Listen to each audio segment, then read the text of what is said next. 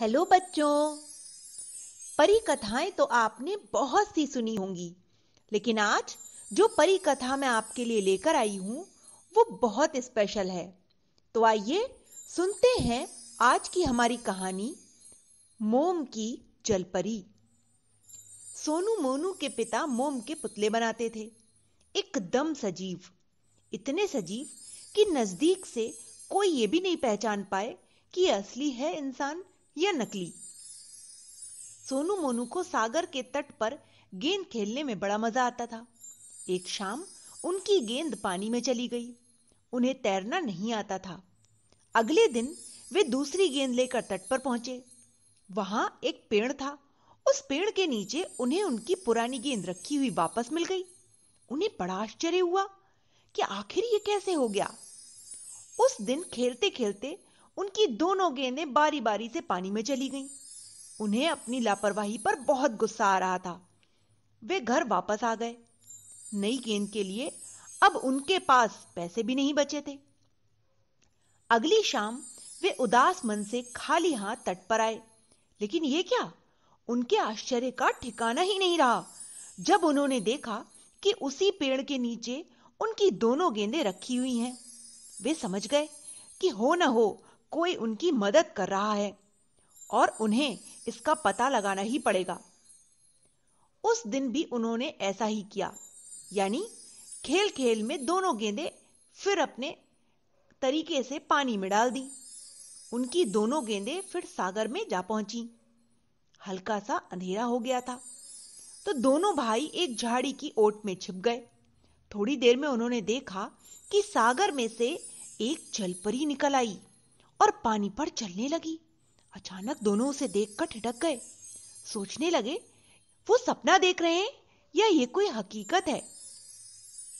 अचानक उस जल परी ने उन दोनों गेंदों को उठाया और पेड़ के नीचे रख दिया। ऐसा करके वो वापस जाने लगी। तभी सोनू मोनू हक्के बक्के रह गए। जब जल परी सागर के भीतर पानी में वापस जाने के लिए उतरने लगी, तभी सोनू मोनू झाड़ी से निकलकर बाहर आए और ज़ोर ज़ोर से जलपरी को आवाज़ें लगाते हुए बोले, जलपरी रुको जलपरी रुको। जलपरी लौटकर सोनू और मोनू के पास वापस आ गई। दोनों को अपनी आँखों पर विश्वास ही नहीं हो रहा था। तभी जलपरी बोल पड़ी, तुम दोनों बहुत ही प्यारे बच्चे हो। मैं हर शाम तुम्हारा खेल देखने आती हूँ। मेरे पास बहुत सुंदर सुंदर गेंदे हैं। उन्हें मैं कल तुम्हें और लाकर दूँगी। तुम कल ज़रूर आना। और हाँ, ये बात किसी को बताना नहीं। अब तो जलपरी रोज उनके पास आने लगी। जलपरी तरह तरह के उपहार लाकर उन्हें देती। एक दिन जलपरी ने बताया कि सागर में उसका एक बड़ा सा महल है और उस महल में वो अपनी रानी माँ के साथ रहती है। वहाँ कई और जलपरियाँ भी हैं और वे सब मिलजुल कर खूब मज़े करती हैं। जलपरी ने बच्चों को एक जादुई छड़ी देते हुए कहा तुम दोनों इस छड़ी के सहारे आसानी से हमारे महल में आ जा सकते हो। कभी ज़रूर आना। तुम्हारा हम स्वागत करेंगे। एक शाम सोनू और मोनू सागर के तट पर गेंद खेलते खेलते अचानक थक गए। बहुत इंतज़ार करने पर भी जल परी नहीं आई। उसके बाद तो कई शामें निकल गईं, लेकिन जल परी उनका खेल देखने के लिए नहीं आई। सोनू और मोनू को लगने लगा कि जल परी ज़रूर किसी संकट में है। उन्होंने उसकी मदद करने का निश्चय किया।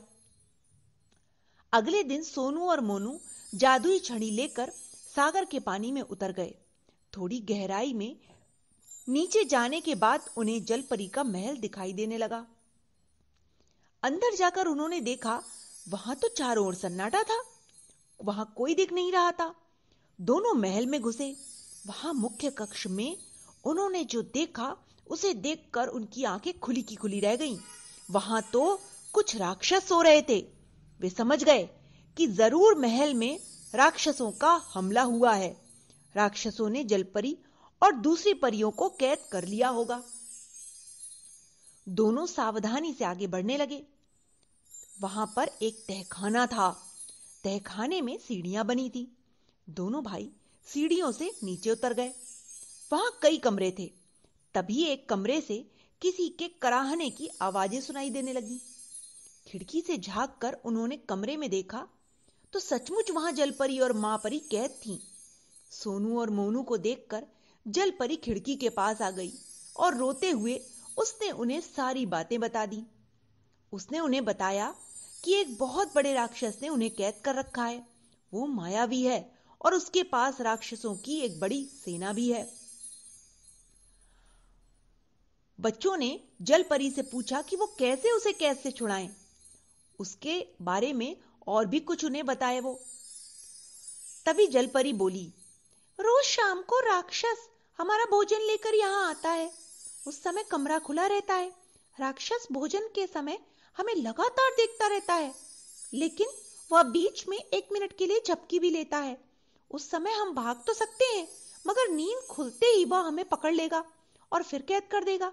एक मिनट का समय इतना कम होता है, इतने कम समय में हम महल और सागर से बाहर नहीं निकल सकते। सोनू और मोनू वापस अपने घर आ गए और उन्होंने अपने पिता को जलपरी और परी माँ की पूरी बात बताई। उनके पिता ने कहा, तुम दोनों जलपरी और परिमा के रूप, रंग और कदकाठी के बारे में मुझे विस्तार से बताओ। मैं हूबहू उनके जैसे मोम के पुतले बना दूँगा। फिर तुम उनकी मदद कर सकोगे। दोनों ने जलपरी और परिमा के बारे में बताया तो उनके पिता ने बिल्कुल उनके जैसे मोम के पुतले बना दिए। अगली शाम सोनू मोनू पुतले लेकर तहखाने में कमरे के किनारे छुप कर बैठ गए। तभी राक्षस आया। उसने भोजन की थाली रखी और जलपरी तथा परी माँ को एक टक देखने लगा। तब जलपरी ने कहा, हमें भूख नहीं है। इस पर राक्षस गुस्सा हो गया। परंतु इस बीच राक्षस को झपकी आ गई। मौका पाकर जलपरी और परी माँ कमरे से बाहर आ गए। सोनू और मोनू ने झट से उनके स्थान पर मोम के पुतले रख दिए। एक मिनट बाद राक्षस की झपकी टूटी तो सामने मोम की परियों को देखकर उसे जरा भी शक नहीं हुआ। क्योंकि वो मोम की परियाँ बिल्कुल असली परियों जैसी लग रही थी। शाम के समय सभी राक्षस सो रहे थे। सोनू, मोनू और जल परियाँ सागर से बाहर आने में सफल हुए। उन्हें कोई भी परेशानी नहीं हुई। वे जल्दी ही सागर के तट पर आ गए। तब जल परी ने कहा, आगे एक जगह पर नदी की धारा उल्टी दिशा में बहती है। अगर हम वह धारा मोड़ दें तो राक्षसों का जादू टूट जाएगा और वे खत्म हो जाएँगे। और हम जलपरियाँ मुक्त हो जाएँगी। सोनू और मोनू एक बड़ी नाव ले आए। उसे धारा के पास लगा दिया। धारा की दिशा बदल गई। तभी सागर में जोरों से लहरें उठने लगी। राक्षसों के चीतकारों की आवाज़ें गूंजने लगी और कुछ ही देर में सब कुछ शांत हो गया। तो इस तरह राक्षसों का अंत हो गया। इसके साथ ही सभी जलपरियाँ मुक्त हो गईं। जलपरी और परिमा सागर में वापस जाने लगी। तभी सोनू दौड़कर जलपरी के पास गया और उसने कान में कहा, जलपरी, हमारा खेल देखने के लिए आना मत भूलना। इस पर जलपरी ने कहा, तुम बच्चों ने हमारी मदद की है। हम ये कभी नहीं भूलेंगे। मैं तुम बच्चों से वादा करती हूँ कि मैं तुम्हारा खेल देखने रोज आऊँगी। तो इस तरह जलपरी अपने महल में अपनी माँ के साथ खुशी खुशी वापस चली गई। तो ये थी एक जलपरी और मोम की परियों की कहानी। Okay, bye.